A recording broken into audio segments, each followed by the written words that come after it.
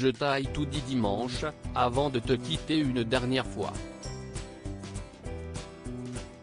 Je suis apaisé en sachant que toi tu l'es aussi désormais. Le soir des obsèques de Jean-Pierre Pernaut, son acolyte et journaliste Dominique Lagrousse sans père a partagé un message déchirant. Un message qui témoigne de son amitié et ses liens forts qu'il avait tissés au fil des années, travaillant ensemble de 2001 à 2021 sur le JT de 13h de TF1. Apaisé. Si est ce que je garde de ton beau visage endormi, écrit encore la journaliste dans un message partagé mercredi 9 mars sur son compte Twitter.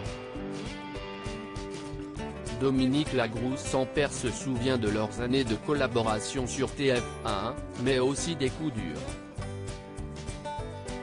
La mort de son époux Claude des suites d'un cancer, en 2019, à travers laquelle Jean-Pierre Pernaut l'avait soutenu, assurant sa présence aux obsèques du père de ses deux enfants à Villa d'Avray. Il n'a pas lâché du regard ma fille et mon fils, peu importe si les larmes coulaient sur son visage, peut-on encore lire. Une empathie, mais aussi une force que son ancienne comparse a particulièrement soulignée. Jean-Pierre n'a pas manqué, de courage, même si si est vrai qu'il m'a dit, il n'y a pas très longtemps, qu'il avait été très con de ne pas avoir arrêté de fumer plus tôt. Pas le courage, peut-on encore lire?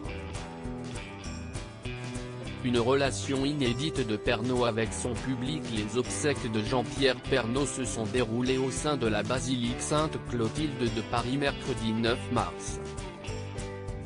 Sa femme Nathalie Marquet, ainsi que ses quatre enfants, sont apparus unis. Pendant plus de 30 ans, le journaliste avait présenté quotidiennement le JT de 13h de TF1, entrant à tout jamais dans le cœur des Français. Des Français présents pour cet ultime au revoir, aux abords de l'église. Loading Widget